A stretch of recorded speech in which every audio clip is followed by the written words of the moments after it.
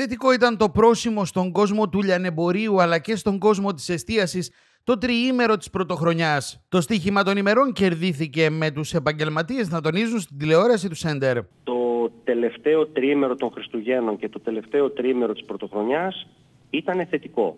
Από εκεί και πέρα, όπως πολύ σωστά επισήμανατε και οι δυο σας προηγουμένως, η ακρίβεια που μαστίζει τις τσέπες των καταναλωτών αφήνει τα ρούχα, την ένδυση και την υπόδηση σε δεύτερη μοίρα.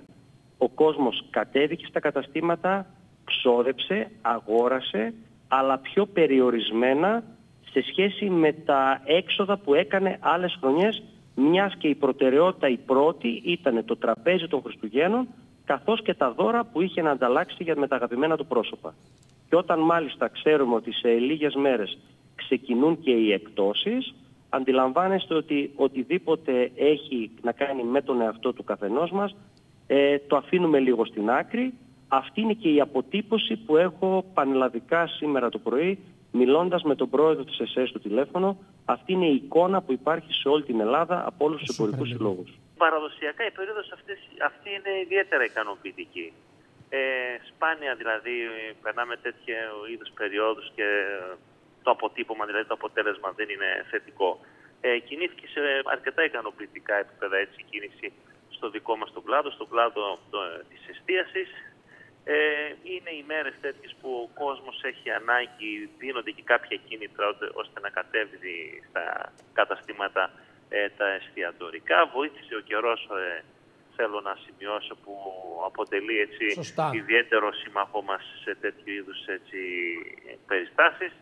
Ε, και ε, αυτό που μας ικανοποίησε ακόμα περισσότερο ήταν ότι υπήρξε και μια σχετικά ικανοποιητική τουριστική κίνηση. Είδαμε ξένους ανθρώπους ε, στην πόλη πέρα από τους καβαλιώτες, πέρα από τους καβαλιώτες που έρχονται στη γενέτειρά τους να περάσουν αυτές τις ε, γιορτινές ημέρες.